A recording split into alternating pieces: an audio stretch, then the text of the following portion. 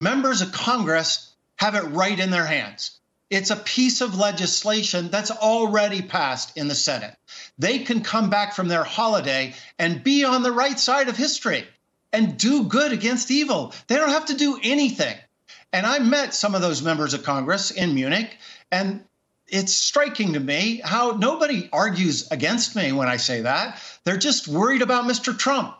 And and yeah. I just think you have to sometimes do what's right and worry about the consequences later. And they have this moment. So I just plead with Speaker Johnson do the righteous thing. You don't get a chance in life very often to do the righteous thing. If you're voted out of a speaker, you know, we, a few weeks later, at least you had your shot to do something good. This is their shot. They need to do it now. Do it for the warriors in Ukraine and do it for Yulia Navalny and all of the supporters of Alexei Navalny.